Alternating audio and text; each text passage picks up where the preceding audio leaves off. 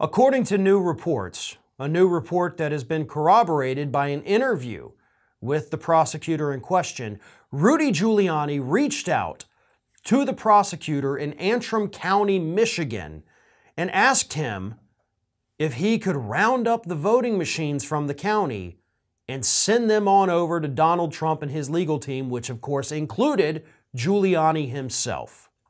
The prosecutor, a man by the name of James Rossiter, who happens to be a Republican, and he admits in this interview, I'm a Republican, but fair is fair. Whoever wins, wins. Whoever loses, loses.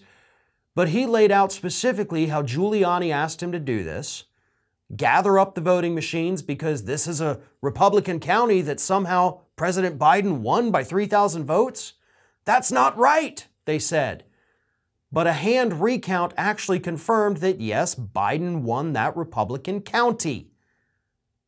And prosecutor, as I said, said, no, I, I, cannot give you these voting machines. That, that's not even something a prosecutor can do. Why are you even asking me this?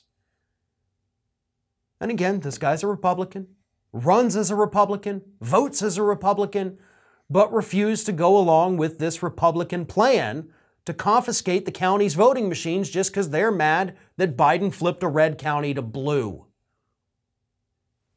So here it is. I know right now the big scandal du jour is Donald Trump and his boxes of documents down at Mar-a-Lago. But we still have this one that just bubbled up, what, two weeks ago about the plans to confiscate the voting machines. Like, we're still finding out more about this scandal while we're still involved, I guess, in this other scandal, uncovering the truth here. My God, how much more do we not know? How deep were the efforts of this administration to break the law as many times as possible in as many ways as possible? Because, yes, legal experts are already out there saying what Giuliani did here, this request in and of itself, is illegal.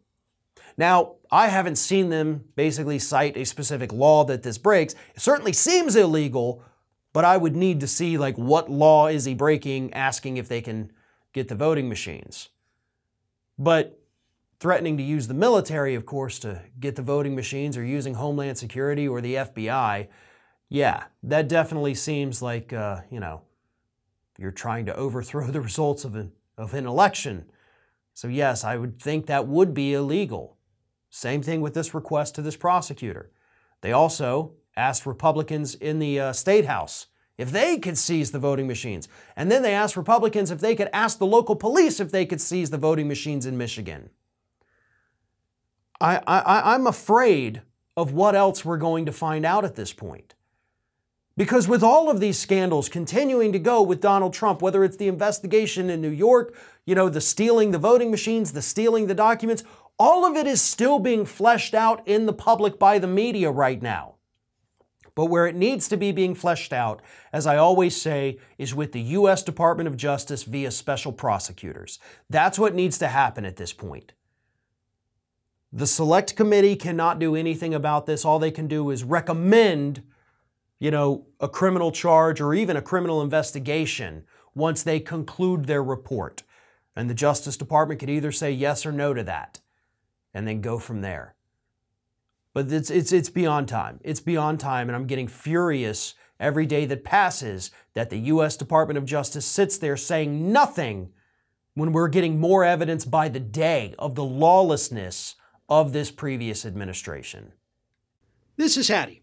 Hattie wants to know why you have not subscribed to our channel. You obviously like our videos, so do us a favor and subscribe.